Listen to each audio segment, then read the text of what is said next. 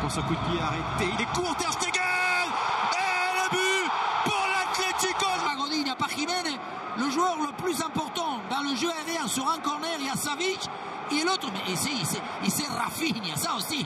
Surtout. Ah, il est pas. Rabaissé ne peut pas. Mais c'est surtout Diego Costa, l'avant-centre. Et cette fois-ci, Ter Stegen,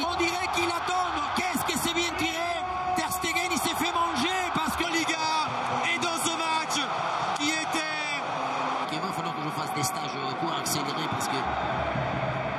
Il met le front hein, de où il vient. C'est la, la, la frappe de. Ça de Léo Messi. Voilà la passe réussie de Messi avec la frappe, l'égalisation. Ousmane pour frapper. Je sais pas si c'est vraiment voulu entre les jambes. Et cette première face lui permet d'abord de la contrôler. Le petit pointu devant vite. Voilà, il ajuste. On est un but partout à la 90e minute de jeu. La pape. Juste on déstabilise Lucas Hernandez